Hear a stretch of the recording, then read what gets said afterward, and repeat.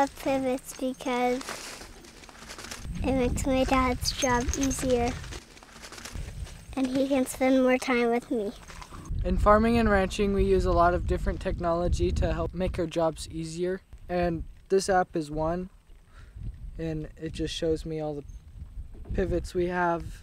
We can control them on our phone, and whenever a pivot gets stuck, or if they're overwatering or underwatering or don't have enough pressure to run, uh, the app connected to the pivots will send us a message and say that they have low pressure or they're out of alignment, which means they're stuck.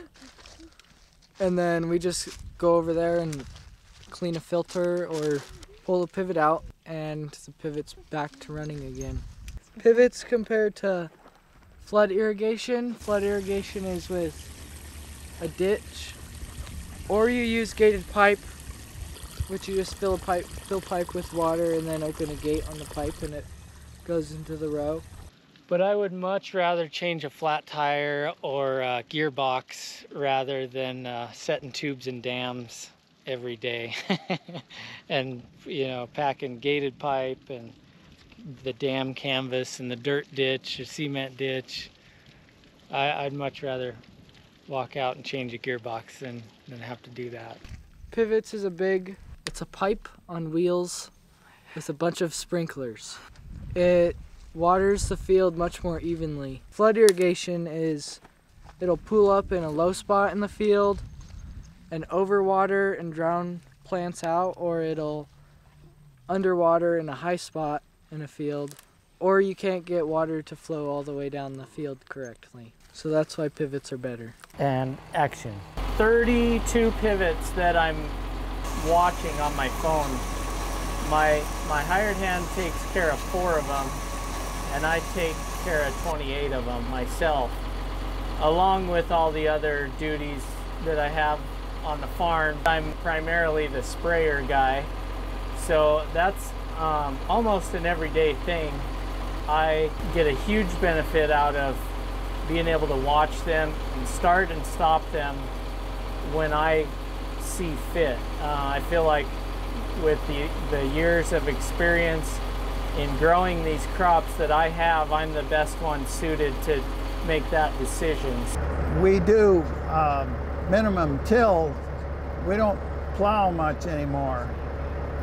And so it's pretty much all minimum till on the beet ground. So uh, it works out pretty good in the spring. We can just go in there and uh, tear the fields up, put our fertilizer in, and plant into quite a lot of stubble and trash. And uh, most of our ground is pivots now, so we don't have to worry about having really clean corrugates for the water to run down. Uh, in this area, you have to irrigate beets up. Uh, there's a lot of beet areas like the Red River Valley that they depend on Mother Nature to, and they get enough moisture that they can get their beets up and, and a lot of them don't even irrigate all year. We haven't had much rain this year, but we did get some yesterday. We need water to grow beets, a lot of water. Connectivity with FieldNet is extremely important to me. It saves hours of run around time uh, for me to be able to monitor all 28 of the pivots I'm responsible for.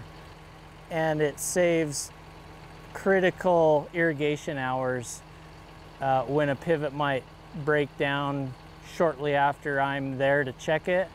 Uh, this will alert me and let me know so that I can get that pivot back up and running right away. So this field is seed alfalfa and over the years we've put in several sprinkler systems. Uh, in fact, I think it's about 20 pivots in 10 years. So we put on an average of two pivots a year. They're extremely more efficient with uh, as opposed to flood irrigation.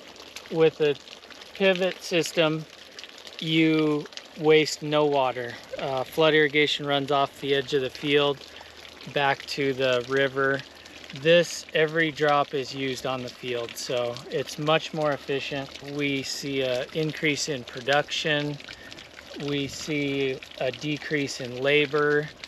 When we get our barley off, our malt barley off, we'll replant that into barley for fall feed for the cows.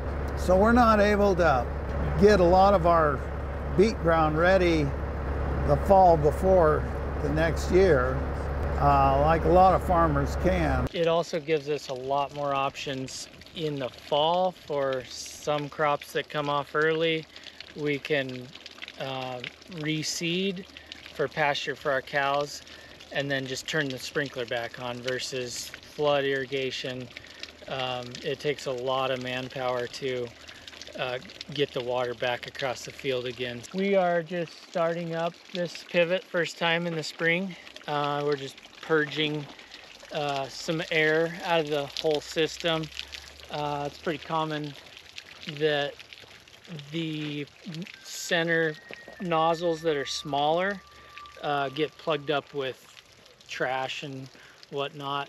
So we got to go through. I got this handy, sophisticated little tool right here that uh, I I uh, I unplug the nozzles with. So I just kink it over like this, and I'll I'll uh, hold it like that, and then take this off. This is the nozzle. If it's plugged, I'll I'll stick that in there and tap it out, and then and then put it back together. So.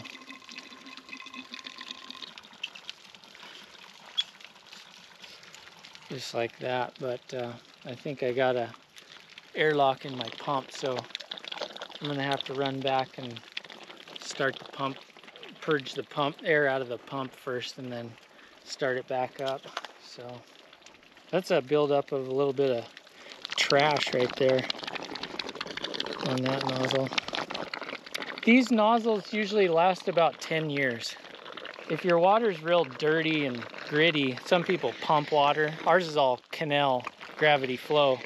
But some people that pump water, they get silt that that washes through the nozzle and um, it wears the nozzle out pretty fast. They're all self-draining. Uh, that dripping right there is the pipe emptying itself out. So every time it shuts off, the pipe empties out. These all uh, gravity flow empty out and the only thing we do in the wintertime is we pump out the pipelines that are feeding everyone and you know depending on how it's set up sometimes we might have to drain a pump pretty critical if you forget to do that it costs you a lot of work in the spring three phase power yep every about three quarter horse each each one of them is. Three phase power is a little more efficient versus single phase. There's been various combinations of different wheels that people have tried. The old uh, air in a tire seems to be about the best thing we've found. If we have trouble, you can see that one has three wheels down there. Uh, some of the heavy soil gets kind of mucky and built up on the tires. So in heavier soil fields, we will put triples on those to get fewer pounds per square inch on the ground. We're just starting to have to replace some tires on full systems. So they're about 15 to 17 years old. Some of the first ones that we put in and uh, the, the the rubber just gets weather checked and they start leaking. Most all of our pivots that we've put in lately have been Zimmatic pivots. Um, this up here is what links the pivot to my phone. Uh, it, it sends the information to the internet and then I've got an app on my phone. It'll tell me if it shuts down from low pressure, low temperature, It'll tell me where it's at in the field. I can start and stop it with my phone. Uh, I can even change end gun setting. Certain areas of the field, we can change application, speed the pivot up, slow it down. Let's go check the next pivot now. Don't forget to like and subscribe.